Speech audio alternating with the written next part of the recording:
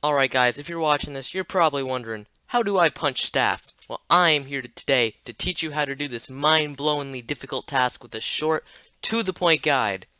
Let us begin. Like all things in life, the first step is to give them a ton of monies. If you are unsure how to best throw your money at the dev team, the first step is to go to their website. Now you have to click on the large yellow button on the top of the screen.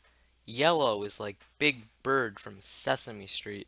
Now that you've given them all of your cash, you're going to need to acquire some essential tools for this operation. The first tool you're going to need is a mouse. Not an animal mouse, a computer mouse. Good. This is where things get tricky. You're going to need to place that odd white blob in the center of your screen of unknown origin so that is on the person whose day you're trying to ruin. This can be pretty difficult, but just remember, if they're to the left of the mysterious center blob, you have to move your mouse to the left. If they're on the right of it, move it to the right. Good job.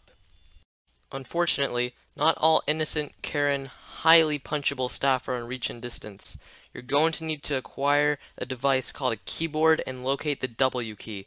Here is a map to find it. Once you've located the highly secret W key, you're going to want to hold it down until you are in punch-in range of the poor staff member's face. This is it, the grand moment, but a difficult task lies ahead. You have to pull off what some pros call a clicky-clicky, or what any person of any education at all would call a left click. To perform a left click, press the left click button. The left click button is often located on the left. Here is another diagram. The left click button is shaded in red.